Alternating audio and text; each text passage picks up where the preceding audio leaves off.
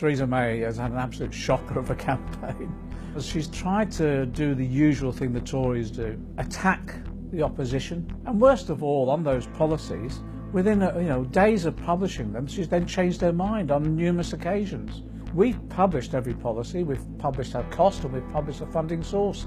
And I said to the Tories, why haven't you done that? Because in their manifesto, the only figures are the page numbers.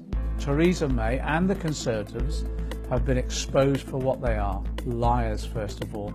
Incompetent, just completely incompetent, not just of running an election campaign, but incompetent in running a government. She's cut policing numbers 20,000 police officers. Those police officers that stood up at the Police Federation conference and said you are putting national security at risk as a result of these cuts. She didn't just ignore them, she condemned them for what? She said, crying wolf.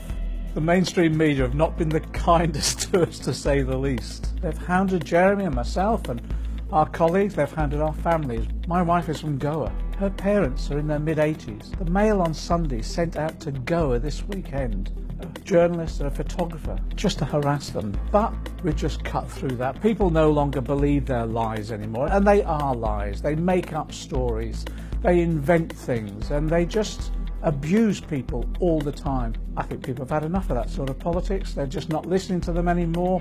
And people actually have got an alternative source of information. Now they've got social media, so they can go on the internet, they can go on Twitter and Facebook, and they can find an alternative. We now have a form of media which is much more democratic and open and no longer controlled by the oligarchs. Fake news is about lies.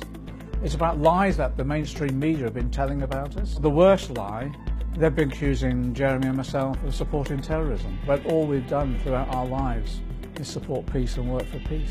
It's interesting, though, some of these conservatives that have been attacking us, I can remember only a few years ago, they were supporting the apartheid regime in South Africa. Some of them were calling for Nelson Mandela to be hanged.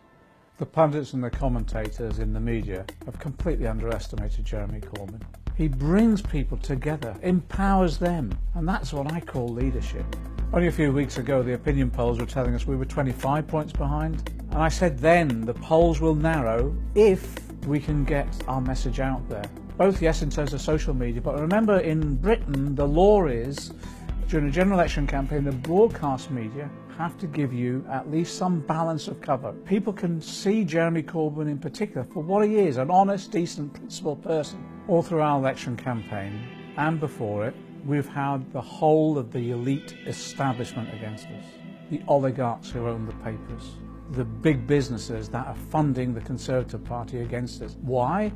Because we want to redistribute the power and wealth they have right the way across the population. And when we get elected, of course, they'll do everything they can to hinder the implementation of our policies. But the difference is this we're the many, they're the few. We have one thing that they haven't got solidarity across the mass of the people.